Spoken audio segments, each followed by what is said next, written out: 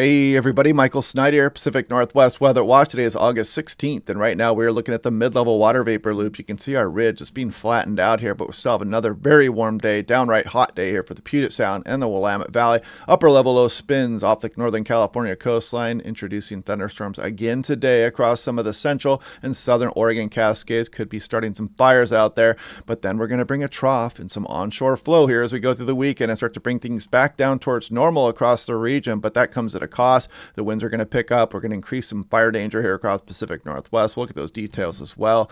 And check out the smoke right now across BC. It's infiltrated into some of the valleys here. You can see it coming off the Cascades into eastern Washington. Oregon got a nice smoke coverage going on here as well. And if you're around one of these fires, it's very unpleasant. So yeah, that's kind of interesting stuff here, folks. Looks like we're starting to really increase the fire activity here across the region. You can even see some stratus here along the Washington, Oregon coast this morning, kind of infiltrating across some of Hoquiam out there, down the Oregon coastline as well. So interesting stuff there this morning. Taking a look at the temperatures yesterday. I mean, the Tri Cities was at 109 yesterday, mid 90s across a lot of Puget Sound, some hundreds even into southwest Washington, hundreds widespread across some of the Willamette Valley. Very warm across some of the Washington coast here as the rest of the coast across southwest Washington and Oregon was cooling down yesterday. Still 93 out there towards Forks. And yeah, look at some of these temperatures in eastern Washington, Oregon. And another very hot day again today for much of the region, except for maybe the immediate coastline. You can see Seattle the last couple days 94 95. The record highs back in 2010 were 95 and 96. So we just missed both of them by one degree here. No precipitation for the last few days and none in sight really for Seattle coming up here, but we'll look at that in the forecast models, of course. And if you guys want a nice, affordable weather station, click on the link down below. It's got a lightning detection system, it's all wireless and solar powered. Nice smartphone app. And you can see you can scroll across the entire planet here and see who else has one and check out their data as well or you can keep it all private too if you want. Now, this is looking back at the Pacific Northwest. Check it out Crater Lake, Klamath Falls, Lakeview, under the gun again today. Some thunderstorm activity, and some of it might be in the dry lightning variety here that could be starting some fire. So, heads up for that. Look at Spokane. Nice cool down coming as we go towards the beginning of next week here. If you take Spokane, 101 today, but by Monday, maybe 79 there. So, nice cool down here. Just hang on for a couple more days there. You can see Moses Lake and Omak downright roasting. Ritzville again the next couple days as well.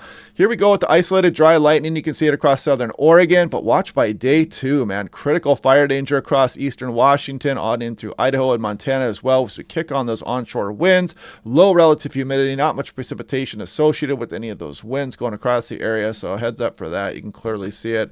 Now, looking at the European, this is last night's run. There goes our ridge. It's kind of flattening out here. And by the time we get in towards Thursday night into Friday morning, the trough is going to be with us here. So we're at least going to get a break for a couple days here. And there's some pretty good model disagreement on how much we're going to warm up again next week. But it doesn't look like any kind of major heat wave. But look at this ridge, this just ridiculous ridge here across the center, center portion of the country. Probably going to be hearing about that in social media and the news out there. Just kind of an extreme ridge out there. So it's going to get really warm.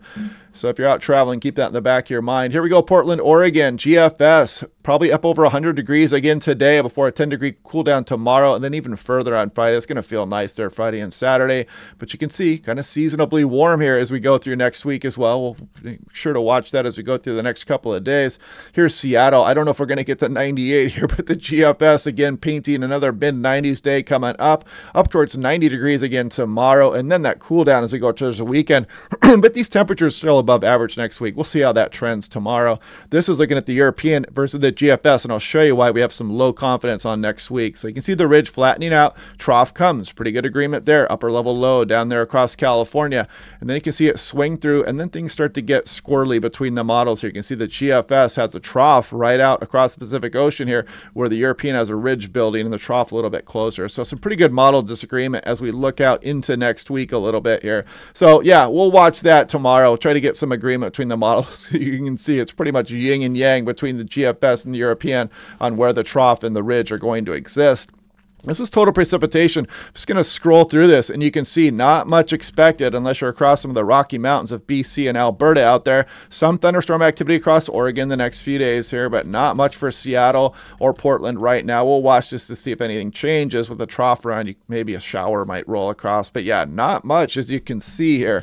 This is looking at lightning density over the last 24 hours. If you saw the satellite imagery yesterday, you saw some of these bubbling up across central Oregon and the east slopes of the Cascades. Some of you guys might be be watching from some of these locations out there. So yeah, had some thunderstorm activity there today. A lot across California, but you can see nothing across Washington or BC. That could be changing for BC here over the next couple days, though. And this is looking at the European. Let's just scroll through this today. As you can see, that activity kick up again today across Oregon. And again, not a lot of precipitation associated with those lightning strikes there, so it could be starting some fires tomorrow. Something similar across southern Oregon. We introduced some thunderstorm activity here across BC tomorrow. Not much for Washington. Scroll through Friday. You might include some of the Blue Mountains here across northeast Oregon, Idaho, Montana as well.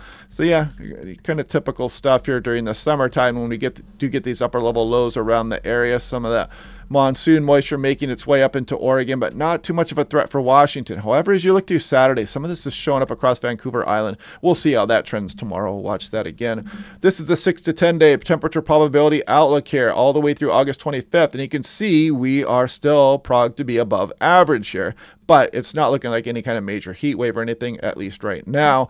And this is the 6 to 10 day precipitation probability outlook. We might even get a slug of tropical moisture trying to move up the west coast, even into Oregon here in this time frame, something we'll be watching here over the next couple of days. We'll talk about that in some more detail, probably either tomorrow or the next day. And this is looking at the, uh, the significant fire potential you see Thursday and Friday, things really ramp up here across a lot of the region. Critical burn environment and the lightning strikes, you can see them kind of embedded in there in the red for the potential for dry lightning out there as well. So, yeah, especially east of the Cascades and across the Cascades, really be careful because a lot of these fires are human caused, of course. This is looking at the European. We're checking out winds here at 100 meters just off the surface. And you can see as we go through today, we're kicking that onshore flow, but winds aren't too strong. But as we go through tomorrow, look at these winds increase across eastern Washington, across the ridges of the Cascades, east slopes, coming down the Strait of Juan de Fuca, Strait of Georgia there as well. And that's really going to introduce some dangerous fire weather here across portions, mainly east of the Cascades. This would be shown Friday early afternoon there. And look at some of these relative humidities. I'm just going to scroll ahead to Friday afternoon here. And and you can see some of these single digit relative humidity values out there. So it's going to be like a tinderbox out there, folks. Be careful. Uh, here we're looking at the El Nino watch here. You can see us continuing to climb. As soon as we pass this one line here, that means we're in moderate El Nino territory, kind of bobbing and weaving up and down here. But the overall trend is definitely upwards. We're almost to 1.4 here. And once we hit 1.5, we'll be in strong El Nino conditions there, at least according to the temperature across the Pacific Ocean anyway. This is looking at the sea surface temperature. It doesn't look like anything too crazy, but this tongue of warm water here is very unusual along the west coast. And I'll show you what I mean here in a moment. We tend to get this current here out of the north and the northwest down across the Pacific Ocean here. So it tends to be cooler water here versus if you're on the east uh, coast here or on the western Pacific, where the of course the current is going to flow in the opposite direction. So it kind of keeps things relatively cool here. But this is pretty warm water off the coast, and you can see it here in the anomaly map. Very warm water doesn't help with the overnight lows, especially across some of the coastal areas here. Not cooling down as much as you normally would. But anyway, yeah, that upper level low. Watch out for those lightning strikes today. We are going to cool down. Hang on for a couple more days here across the region. We'll cool down this weekend here, and then we'll try to see if we can get some model agreement on what's going to transpire as we go through next week as well. So yeah, anyway, hope you guys are having a good day. Click like and subscribe, turn your notifications on. And if you want that weather station, click on that link down below for 7% off. And I'll, we'll do this again tomorrow, and I'll talk to you guys then.